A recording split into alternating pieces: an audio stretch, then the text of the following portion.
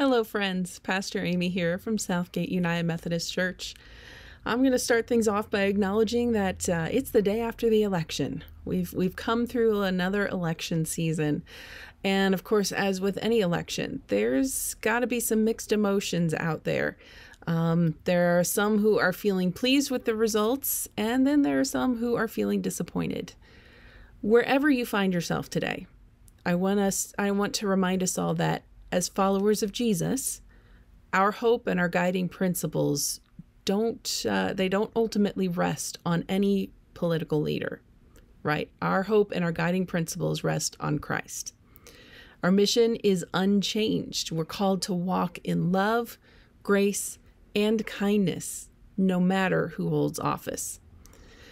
So, this morning, I wanted to share with you that I've been spending time with uh, some of our youngest ones, our preschoolers. Uh, today was our monthly story time together.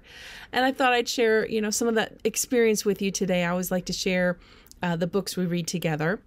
Um, each month, we have a different theme based on the fruits of the Spirit love, joy, peace, patience, kindness, goodness, faithfulness, gentleness, self control. So today's theme or November's theme is goodness, um, and generosity also goes along this along with this goodness and generosity.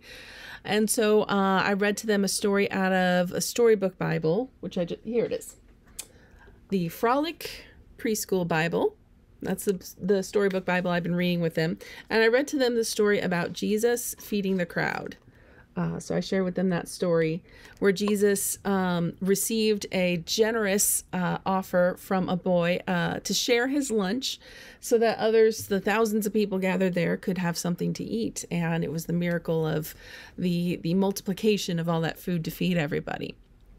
And then I read to them a story uh, called Porcupine's Pie. It's by Laura Renauld with illustrations by Jennie Poh. This is a really charming book. It's a story about uh, porcupine and she sets out to bake her famous pie for fall feast day which you know we know of as thanksgiving.